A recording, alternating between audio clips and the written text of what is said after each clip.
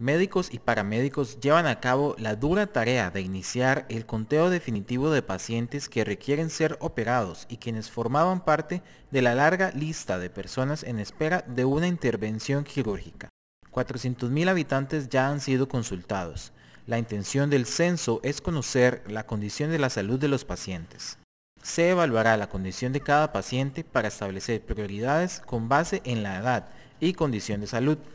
También la Caja del Seguro Social y el Ministerio de Salud adelantan la adecuación de los hospitales desde la optimización de los quirófanos hasta la provisión de insumos. La lista preliminar es de más de 15.600 pacientes que esperan por ser operados.